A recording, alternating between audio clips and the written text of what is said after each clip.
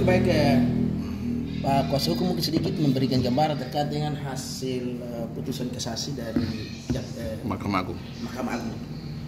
Ya, baik. Uh, terkait dengan persoalan yang melibatkan dua pihak dalam hal ini saudara Aharoroa yang oleh saudara Hasim Rahayaan mengajukan laporan balik atas laporan dugaan yang dilakukan oleh saudara Hasim berdasarkan laporan dari Aharara terkait dengan uh, ijazah palsu. Yang dalam laporan tersebut itu dilaporkan oleh klien kami itu atas penggunaan ijazah palsu didasari atas ketentuan undang-undang sesuai dengan pasal tentang undang-undang pendidikan uh, tinggi. Sementara yang dilakukan oleh pihak kepolisian tidak secara profesional mengajukan tuntutan berdasarkan laporan tertulis yang disampaikan oleh klien kami.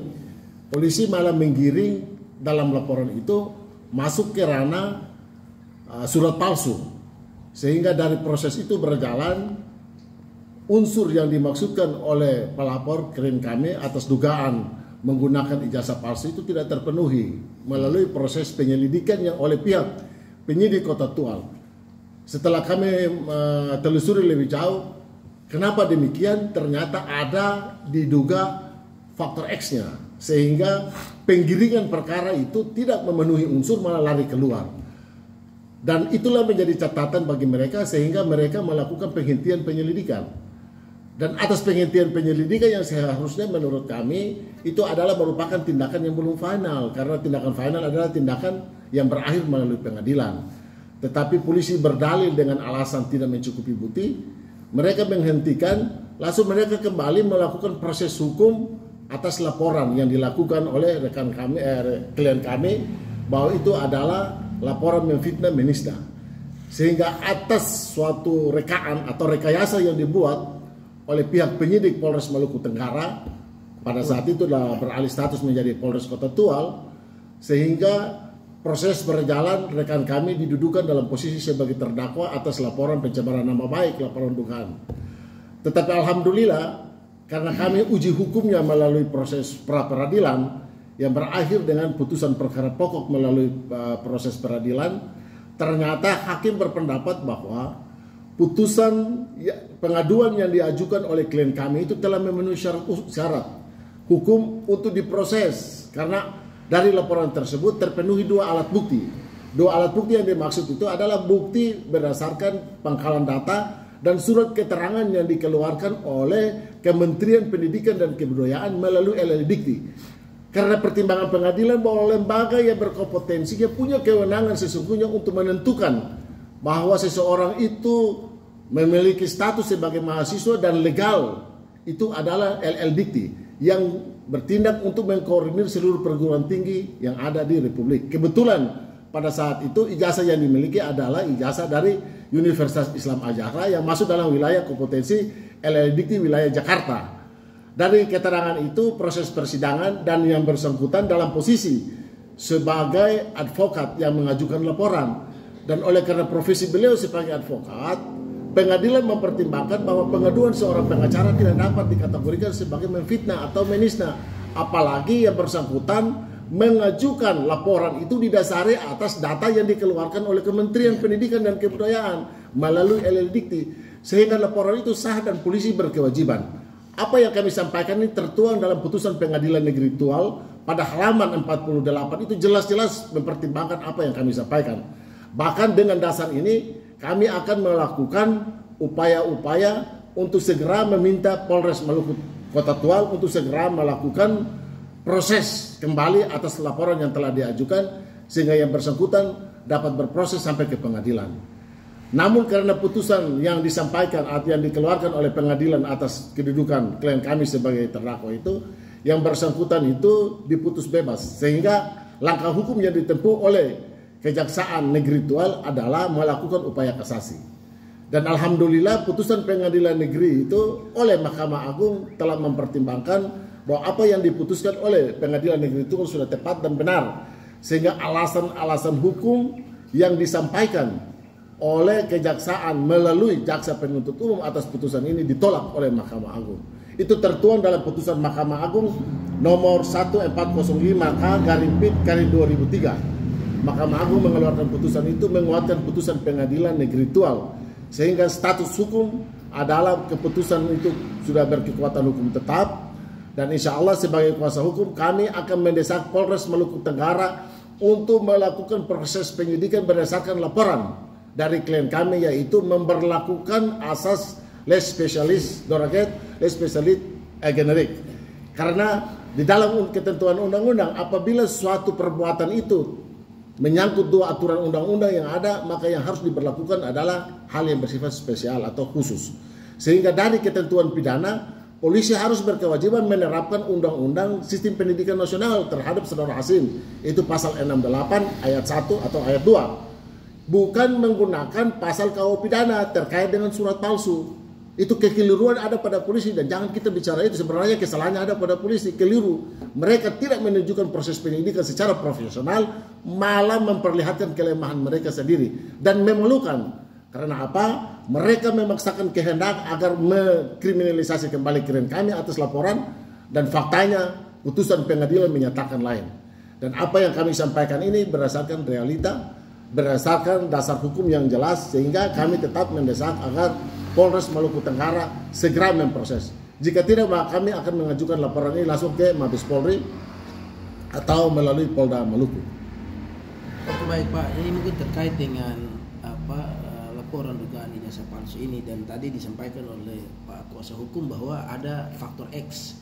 Faktor X ini apakah memang dalam tindakan penyidikan dalam perkara ijazah dugaan laporan polisi atau seperti apa faktor X yang dimaksud ini seperti apa? Jadi faktor di sini ada informasi-informasi kabar burung yang kami terima bahwa memang ada upaya-upaya yang dilakukan oleh saudara uh, Hasim Rayaan ini melalui polisi untuk penggiringan proses ini tidak berjalan. Begitupun juga kami melihat tidak sebatas ini pada proses gelar perkara di Polda pun demikian. Dan ini juga terjadi pada proses perguruan tinggi yang mengeluarkan keterangan. Karena pada awalnya pihak penyidik Polres Maluku Kota Tual itu menyurati perguruan tinggi untuk memintakan mereka memberikan data-data terkait dengan data-data perkuliahan. Yang lebih aneh surat meminta data-data uh, tentang proses perkuliahan malah perguruan tinggi ke keluar data bahwa yang bersangkutan punya ijazah sudah benar. Loh, yang disunta surat lain, keterangan lain, polisi tidak merujuk pada suratnya, malah dia menganggap surat keterangan itu sebagai dasar untuk menghentikan penyelidikan. Sehingga kalau misalnya perkara ini dilakukan secara profesional tidak dipengaruhi oleh faktor S, pasti proses itu berjalan. Tapi proses ini dibalik faktakan dan akhirnya apa yang mereka lakukan semua dianggap salah dan keliru. Karena fakta hukumnya upaya kriminalisasi terhadap klien kami itu oleh pengadilan sudah dinyatakan tidak terbukti apa yang dituduhkan. Sebagai melakukan tindakan memfitnah atau mencemarkan nama baik saudara Hasim Rayan. Tetapi justru fakta hukum membuktikan dalam proses persidangan saudara Hasim yang katanya adalah mahasiswa kita tanya dia menjelaskan di dalam persidangan terkait dengan bagaimana mekanisme proses perkuliahan sampai kepada proses KKN sampai proses pengajuan eh, proposal skripsi dan seterusnya. Dia mati-matian tidak bisa menjawab satu kalimat. Dan dalam proses persidangan hakim berkesimpulan bahwa kuasa hukum jangan bertanya. Fakta hukum yang bersangkutan tidak tahu. Kalau dia betul-betul kuliah pasti dia tahu. Tapi karena dia tidak tahu indikasi itu jelas. Dan itulah yang mengakibatkan kami tetap bersikeras proses ini harus segera berjalan agar mengungkap fakta bahwa benar-benar yang bersangkutan itu kuliah atau tidak nanti dengan laporan.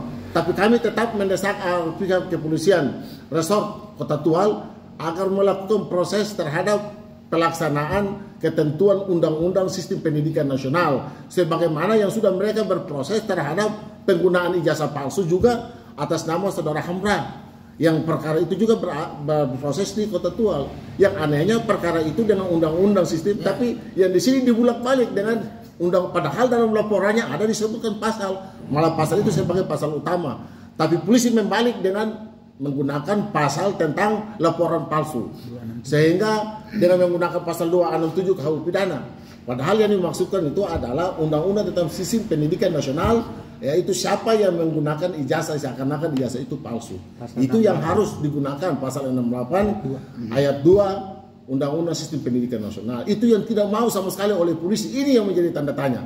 Tetapi dengan putusan ini kami tetap mendesak kepolisian agar segera melakukan proses kembali penyelidikan dan putusan ini sudah menyatakan bahwa laporan itu dengan dasar dua alat bukti sudah memberikan jaminan bahwa proses itu segera dilanjutkan. Oke baik Pak Lukman, ini kan eh, laporan awal ini kan pernah sudah ada SP3 penghentian ya? Ya.